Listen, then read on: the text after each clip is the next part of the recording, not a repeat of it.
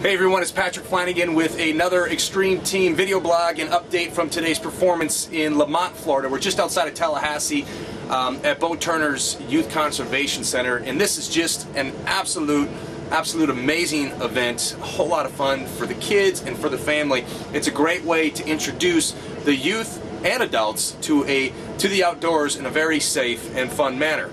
However, on the top of my mind right now is simply the fact that we've got some very extreme weather upon us. Um, I've got a show at 11, so we're about 40 minutes out. Hoping to get that show in. The 2 o'clock show looks like it could be a rain out. We've got a, a tornado touchdown about 30 miles from here. Uh, we've got high winds. We've got every kind of warning and watch I think you could possibly have in one day, all today. Uh, the only part of weather we don't have today is the sun, unfortunately. So we're going to try to get that 11 o'clock show in. There's a lot of kids out here, and, and I don't want to let them down, so I'm going to do my best to uh, give them the best performance I can before the uh, the rain and the storms start rolling in, and it makes things unsafe to be performing in. Um, unfortunately, we're going to try to get some footage of the show. I don't know if it'll happen. Again, with all the rain, we don't need any more electronics outside. I've already pulled my electronic drums back into the RV uh, and put those away. We're not going to use them for this show and I don't know if there's going to be any camera rolling whatsoever, other than the guys out here filming Shell Shocked, uh, which is something I think I might have forgot to mention. We're down here also filming an episode of Shell Shocked, so we'll be down here for a couple more days, and I'll get you some updates from all that. So stay tuned, and we'll see what happens. Girl.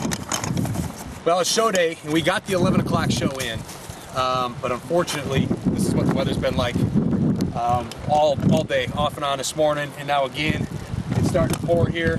I've got a 2 o'clock show. If that's to happen. All my electronics are getting wet. As you can see, this stuff is getting soaked. This is what makes all the big fireworks go boom.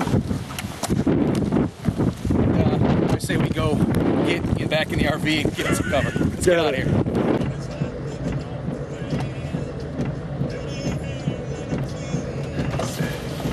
Come on!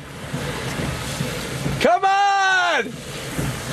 Let's go! Hurry up! God, come on! oh, you are so lucky because did you, did you see where I originally parked? Yes, I did. Did you? Yeah. Farthest away parking spot I could right. absolutely find. But thank you for getting my coffee. You're welcome. Hey, what kind of son-in-law do you really think I am? I mean, be honest with me. I mean, could you find a better son-in-law? Uh, no, I can't. I really not unless I picked him up myself, and then I'd be blaming myself instead of my daughter.